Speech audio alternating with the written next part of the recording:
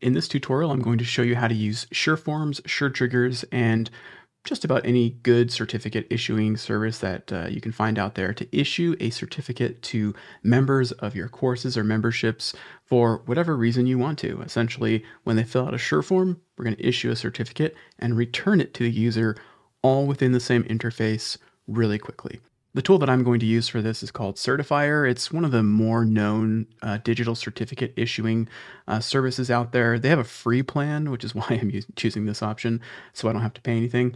Uh, you get basically free forever. You get 200 certificates and badges uh, per year, right? So if you have more than that that you need to issue, you can pay for a plan, or you can look for another one of the certificate services out there. I don't have an affiliate link for this or anything. It's just certifier.io. Uh, integrates really well with SureTriggers and makes this whole process seamless, as you'll see. We're going to get started by going into SureForms, and this was just released in one of their recent releases, actually the day of this recording and it's still in an early form, but it is a little bit different from what I showed in my original SureForms video that I'll, I'll go ahead and, and link up here somewhere for you to check out, uh, and I'll link it in the description too. Um, but essentially, we're going to uh, add a block here, and we're going to choose to do a text block. And for our text block, we're going to find the, or we're going to ask for the name of what they would like to be on the certificate because, you know, Doug might be taking the course, but the certificate needs to say something else. Um, so we'll say name to be displayed on the certificate. Perfect. We'll make that required. We want to have that. Then we're going to add another field and we're issuing certificates only for members of our course or for members of our community. Whatever the reason is we're issuing the certificate, it's only going to go out to somebody who is logged in, possibly in SureDash, or logged in uh, onto our website in some fashion, maybe in a SureMembers course or something like that. Um, so we're going to look for a particular field, and this one's going to be the hidden field. And we're doing this because we don't want to ask them for their email. Um, we should already know it, right? So we're going to say email, and then I'll just put in parentheses hidden. And then here, because it's a hidden field, it won't be shown, but we want to populate it automatically with uh, the user's email. We can get there on the right-hand side under general by clicking the three dots under default value. And we're going to insert the user email. Now we'll have their email, uh, even though they don't know that they're entering it. They are because they're logged in and we've got it.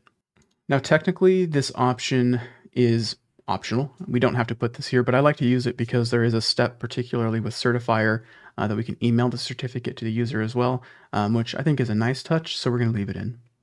Uh, and that's it. That's the only form fields that we, we really need. We can put others in based on the certificate issuing a service that you're using. It may require more fields.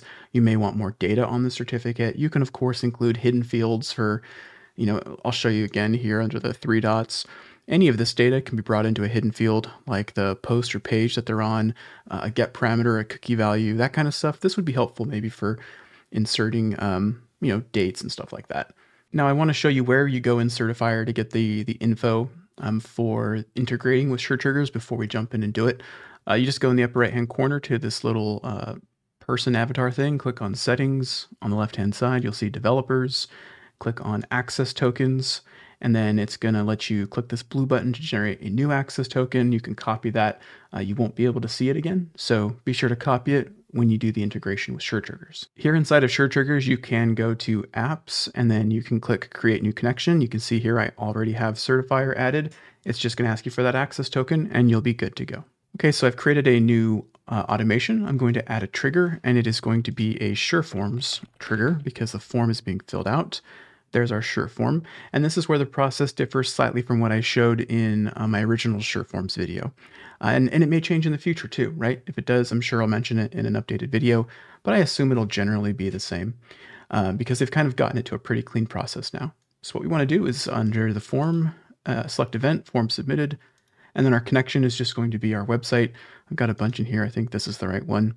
If you select the, uh, the wrong one, when you click continue, uh, the screen that you go to here for configure will just be empty. Wait for that to load. There it is. Let's grab our members only cert issue, click continue. It's going to want you to submit the form. That's totally fine. We'll come back over here and we'll just click our uh, little preview button there. It's going to open up the form. You can see it's invisible. Let's go ahead and fill in the name here. Uh, we'll say demo guy and we'll hit submit. Now you can see we haven't customized anything of the confirmation page yet. So this is just our, our little demo. Uh, even if we had customized this, it would have sat there and eventually said error because we haven't set up the integration to send it back yet. So that's totally fine uh, if you see that. We'll come in here. As soon as I swapped tabs, here it is. I'll click save. There's our submission data. Now I'm going to go ahead and add a new integration for our automation here, and we're going to search for Certifier. This is where you would search for whatever tool you're using. I'm sure there's others, but this is the one that I like. We're going to issue a credential. Now on the certifier side, under groups, you'll create a group. I called mine, you know, certificate demo. Inside of your uh, group, you're going to create a new credential, uh, and you just basically give it a name. You can design it, and then click save. Pretty simplistic. Once you walk through that process, it will appear right here. Uh, so I'll just say issue credential, and then there it is, the, my account. I'll click continue. And now we're configuring what credential, what group, etc. So let's look for our group. There it is, certificate demo. I'll show you that over here. It lines up with the group that I created. The recipient of the certificate is going to be that name on our field for our cert here, the name to be displayed on it. So we want it to be the name to be displayed on the certificate. We'll click on that. The recipient's email is required. Now, this is why I said it's optional for you to put it on the form. For this particular integration with Certifier, it is required. Uh, you could always just put like one of your own like alias emails. Like I would put like Doug plus certificate filter at convology.com. And then I'd create like a filter in my uh, Gmail to just delete those automatically. Uh, you can do that if you don't want them to get an email from this particular tool. Might be different with a cert tool that you're using. Um, but we did ask for that email, and I do think it might be a nice touch to include it. So I'll just put at here, and then I'll scroll down and I'll grab the, the email in the hidden field that we created. Issue date and ex expiration date, we're going to leave empty. Um, we didn't really put expiration on ours, and the issue date by default will be the day that the form is submitted. Let's go ahead and click continue, and sure, uh, Triggers does require a test on the action, so we'll just click on that it'll fire back that it was successful, etc. And we're going to want that data later for use inside of um, our response. So all good there. That's technically all you need. This could have been done via API if you have a cert service that doesn't have a SureTriggers integration. Most will have an API, um, in which case you'd open up SureTriggers, search for API, choose the API action. And then I, I also could have done this uh, via API with Certifier as well. Uh, you would choose things like get and post, a lot more complicated, uh, unnecessarily so, as long as you're using a service that integrates as beautifully as this one. We're done. It's kind of the beauty of using tools like this. Uh, okay, so that's it um, for these two steps. The last, very last thing that we need to do now is just to send something back to SureForms. So we're going to send data, and under the connection, we're going to select our website, then click continue, and then the response URL, we just push at there, and we scroll down and find response URL. That's one of the big changes that used to be a little bit different before. Super streamlined now. And now what's really cool is remember when I submitted that form and it was just like, thanks for submitting the form. Now here we're going to just put whatever message we want to be there. So for us, we'll put like, you know, congratulations on completing the course. Maybe we'll make that um, an H2. Uh, we can like center that. And then we'll say, click here to download your certificate, something like that. And then we'll center that as well. And then we can maybe like insert an emoji or something. I don't know, pointing at it. There, something like that. You could put a file, you could put a certificate, uh, whatever you want to do. For this link to download, what's really cool about Certifier uh, as an option and why this works so well, and again, this is going to vary depending on the tool you're using, um, but in Certifier, you get this link, this special link with like a credential ID, uh, the ability to share your award and download it, um, you know, verify its authenticity, all, all, kinds of amazing stuff, I guess. Um, this is just one I threw together. Um, but what's cool about this is uh, in the URL bar, um, there's a link, and the link is, well, you'll see it here in a second. You can't see it right now. Um, but if I bring it down into here, I'll put it in in here. It's like this cred versus credentials uh, that they use to issue it. And then everything after that is the ID of the certificate, which in this demo here is like this green number here, and it's in the URL. And that credential ID is actually in the data from when we issued our credentials. So it's available to us here uh, as part of our dynamic data. So I'm going to click this little uh, three circles that are stacked on top of each other right here.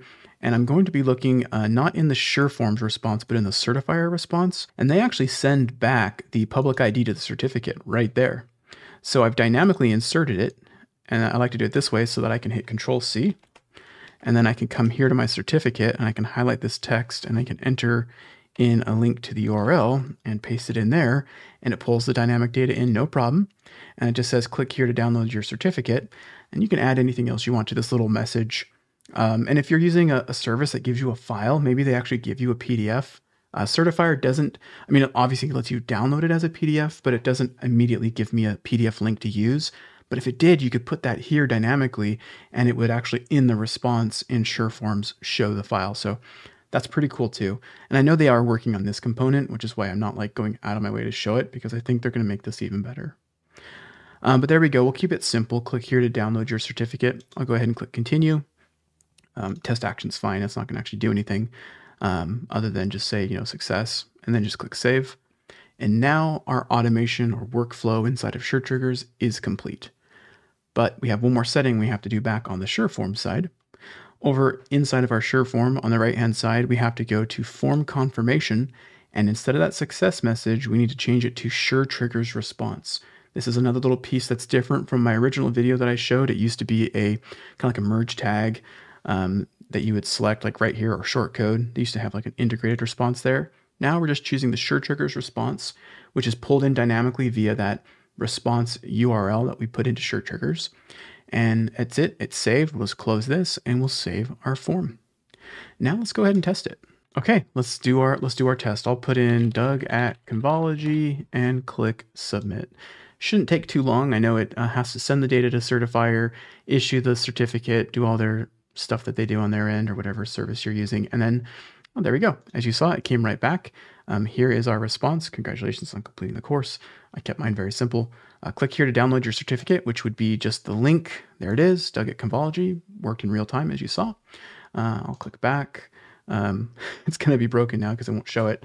I should have on my SureTriggers, if this is uh, you in the future, just go to configure here and on this link and say open in a new tab. There you go. Open in a new window. Add. Now, confirm, update that, click update in same version. Now we can come back in here, call this one cool guy, click submit, and it'll go to certifier, jump back to SureTriggers, and come back to us here at SureForms. Cool, there we go. Now opened in a new window. Perfect. There's the cool guy one. And there it is. Uh, one thing that I think that they're working on, I hope they work on, is the ability uh, here uh, to copy. Doesn't really make sense for our case. It copies literally everything. Um, but you get the idea. It's not a not a bad integration at all. And imagine if that were right within your uh, SureDash or within your course or somewhere on your website using anything. It doesn't have to be the, the examples that I gave. This could be implemented and you can now offer certificate, any, basically anything you can get a certifier, badges, certificates, etc. Uh, based on whatever data you want to send over and you can protect it using SureMembers or whatever tool that you use. I hope this demo was useful to many of you. I know I've had a lot of clients want to do stuff like this, and I've always had to say, oh, gee, you know, I don't have any, you know, really slick way of doing it. But I think this is a great start, uh, and as well as just one example of what the SureForms integration with SureTriggers and multiple apps all coming together uh, can do for you on your WordPress site. Be sure to check out my other videos on SureForms. I'll put links down below in the description, as well as my videos coming for SureDash and SureMembers as well.